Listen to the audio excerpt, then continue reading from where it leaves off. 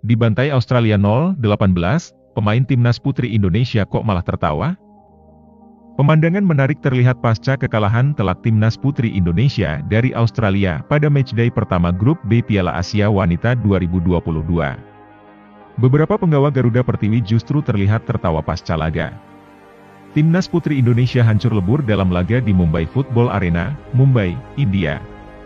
Mereka kalah telak dengan skor 0-18 dari negara peringkat 11 dunia.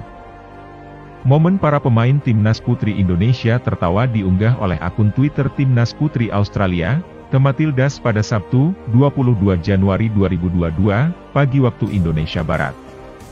Dalam unggahan foto tersebut, terlihat beberapa pemain timnas Indonesia berbincang-bincang dengan bintang Australia, Samantha Kerr sambil tertawa.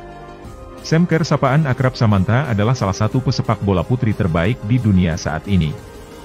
Dia dinobatkan sebagai runner-up The Best FIFA Women's Player 2021 pada Selasa, 18 Januari 2022.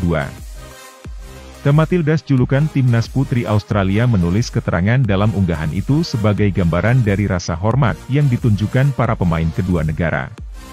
Tesemker Effect Respect, tulis timnas putri Australia di Twitter. Dalam pertandingan itu, Semker mencetak 5 gol ke gawang Indonesia. Sisanya dilesakan Caitlin Ford, Mary Fowler, Hailey Raso, 2 gol, Ellie Carpenter, 2 gol, Emily Van Egmond, 3 gol, Tameka Yalop, Kia Simon, Ivy Luik serta bunuh diri Shalika Aurelia. Hasil tersebut membuat Indonesia berada di dasar klasemen grup B. Posisi pertama dihuni Australia, disusul Filipina, Thailand dan Indonesia.